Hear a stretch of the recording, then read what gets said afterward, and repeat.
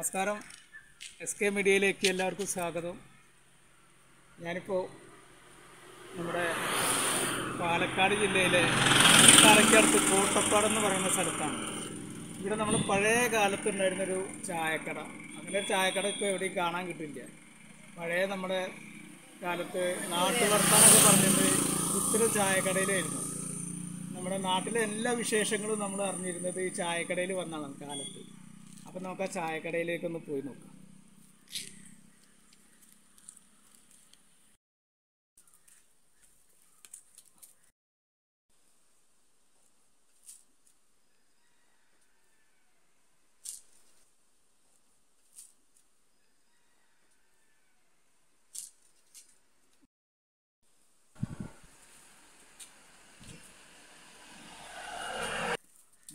നമസ്കാരം.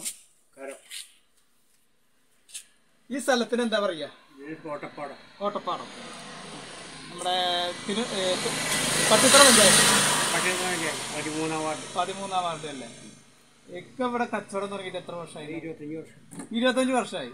അല്ല എന്താ സംഭവം പറയുന്നത് വെച്ചാൽ ഇത്തരം ചായക്കടകളൊന്നും ഇപ്പൊ എവിടെയും കാണാൻ കിട്ടില്ല. ഇങ്ങനെ നരപ്പലക ഇട്ട ചായ കട ഈ ഈ പലചരക്ക് കട ഇതൊക്കെ നാട്ടുമ്പുറത്തുനിന്ന് ഇപ്പോ പോയി. ഇപ്പൊ ഒക്കെ സൂപ്പർ മാർക്കറ്റ് നമുക്കൊക്കെ എന്തൊരു ആവശ്യം വേണമെങ്കിൽ സൂപ്പർ മാർക്കറ്റിൽ നേരെ പോയ പോണം. സാധാരണക്കാർക്ക് ഒരു പത്ത് രൂപ കടം കിട്ടണേ ഇങ്ങനത്തെ കടം നാട്ടിൻപുറത്ത് വേണം എന്നാലേ നമുക്ക് കടം കിട്ടുള്ളൂ. അല്ലേ? ഇവിടെ ഒരുപാട് ആൾക്കാർ വന്ന് കടം മേടിക്കാറുണ്ട് അപ്പൊ ഇവിടെ ഇക്കാനെ സഹായിക്കാൻ വേറെ ആരാളത് ഭാര്യ ഉണ്ടാവും. ഉണ്ട്. അതെ. അത് ശരി. ഇവിടെ രാവിലെ കച്ചവടമൊക്കെ ഉണ്ടോ ചായ? അഞ്ചര മണിക്ക് തുറക്കും. എന്ന് എത്ര മണി വരെ ഉണ്ടാവും? രാത്രി ഒമ്പത് ഒമ്പതേ കാലം ചായ കച്ചവടം ഉണ്ടാവും. ചായ കച്ചവടം പല പലചരക്ക് എല്ലാം കൂടി ഉണ്ടാവും അല്ലേ? അതുപോലെ തന്നെ ഇവിടെ ഈ നമ്മൾ ചായ ഉണ്ടാക്കണ പഴയ കാലത്ത് അടുപ്പിലെ ചായ ഉണ്ടാക്കിയാണ്. അങ്ങനെ വിറക് വിറകിന് കത്തി വിറകിന് കത്തിച്ചിട്ട്. അതൊരു പക്ഷെ കേരളത്തിൽ ഇന്ന് എവിടെ ഉണ്ടാവില്ല അത്. ഞാനത് കണ്ടപ്പോ ഒരു പ്രത്യേക ഇത് തോന്നി. എന്താ വെച്ചാൽ ഈ അടുപ്പിന് കത്തിച്ച് നമ്മൾ ഉപയോഗിക്കണം ഭക്ഷണത്തിന് ഒരു രുചി വേറെയാണ്. അല്ലേ? മറ്റുള്ള ഗ്യാസോ അങ്ങനെയൊക്കെ ആയാലും നമുക്ക് ആ രുചിയിൽ വ്യത്യാസം ഉണ്ടാവും. അപ്പൊ നമുക്ക് ആ അടുപ്പൊന്ന് കാണാം ആദ്യം.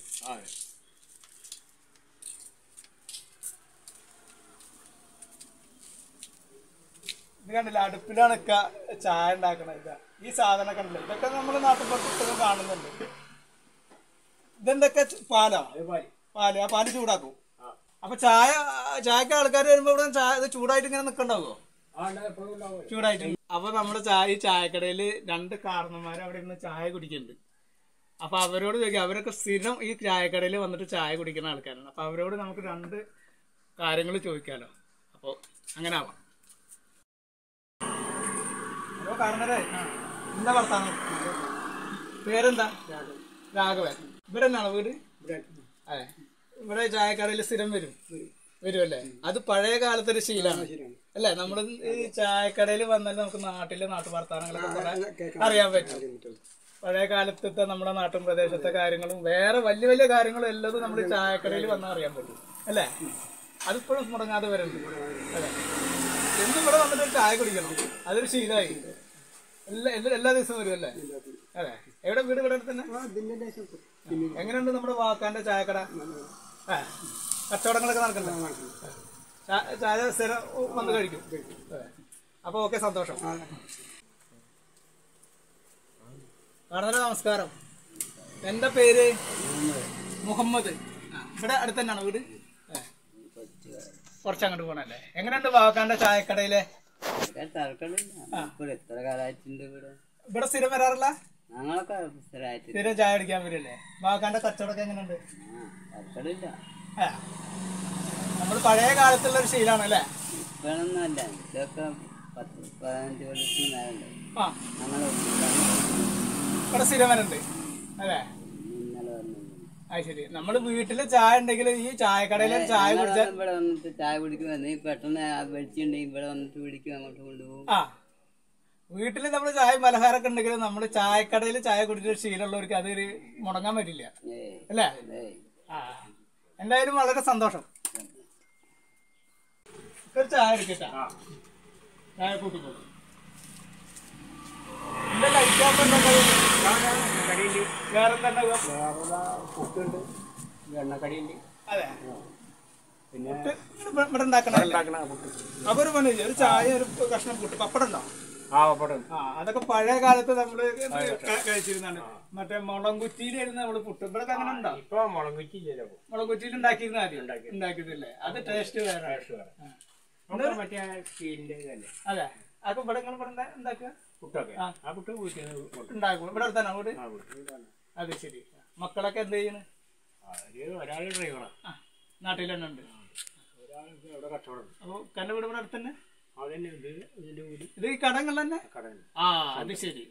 അപ്പൊ മുപ്പത് കൊല്ലായിട്ട് ഇവിടെ സ്ഥിരം അതിന്റെ മുമ്പൊക്കെ വാടക കൊടുത്തു ഇത് വേറെ ആൾക്കാരെ കച്ചവടം ചെയ്യും.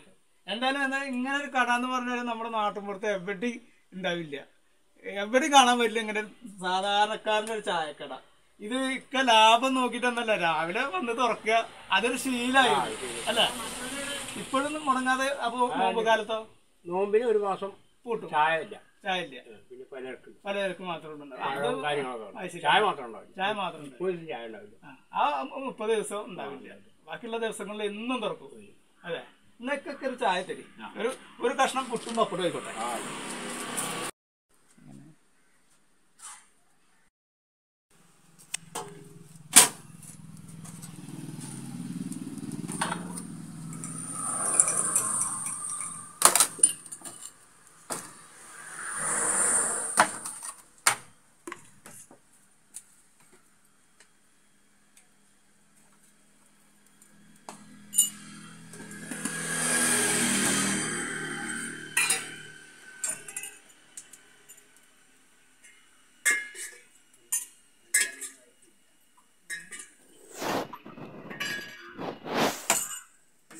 അപ്പൊ ഉച്ച ഉച്ചയ്ക്ക് ചോറിന്റെ പരിപാടി ഒന്നും ഇല്ല ഇല്ല ഉണ്ടായിരുന്നു ആ ഇപ്പൊ പഴയ പോലെ അല്ല ഇപ്പൊ അങ്ങനെയുള്ള കച്ചവടങ്ങളൊന്നും നടക്കണില്ല.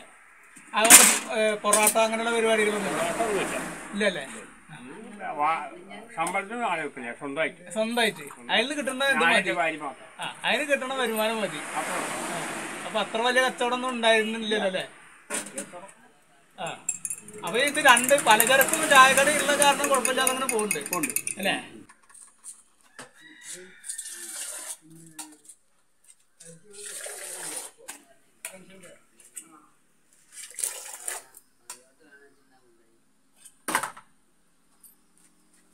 ഇനി ഒരു കഷ്ണം പുട്ടും.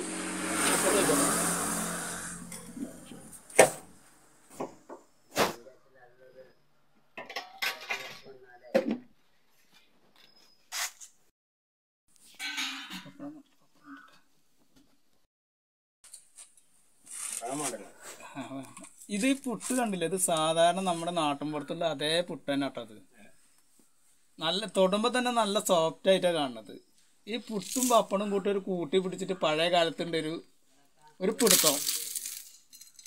അതിന്റെ ടേസ്റ്റ് വേറെ.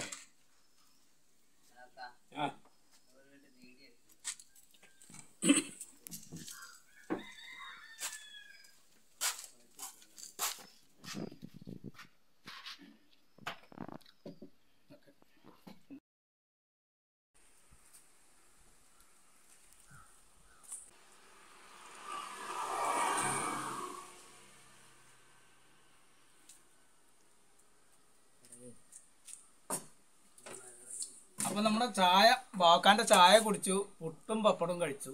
അടിപൊളി ടവാക്ക. അപ്പോ ഇവിടെ വന്നിട്ട് ഈ ചായ ഈ പപ്പടും പുട്ടൊക്കെ കഴിക്കാൻ കിട്ടിയത് വളരെ സന്തോഷമുണ്ട്.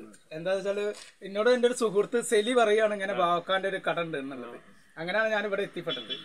അപ്പൊ ഇങ്ങനെ നമ്മുടെ അടുത്തുള്ള ഒരാളാണ് ബാവക്ക ആളുടെ കട പഴയ മോഡലിലുള്ള കട എന്നുള്ളത് സെലിയോട് പറഞ്ഞു. ഞാൻ എത്തിപ്പെട്ടതാണ്. അപ്പോൾ വളരെ സന്തോഷവും ഈ കട സന്തോഷം. ഈ കട ഇതുപോലെ തന്നെ ഇനി ഒരുപാട് കാലം കച്ചവടം ചെയ്യാനുള്ള ഭാഗ്യം ഉണ്ടാവട്ടെ. ഏഹ് അപ്പോൾ സന്തോഷം. ഓക്കെ.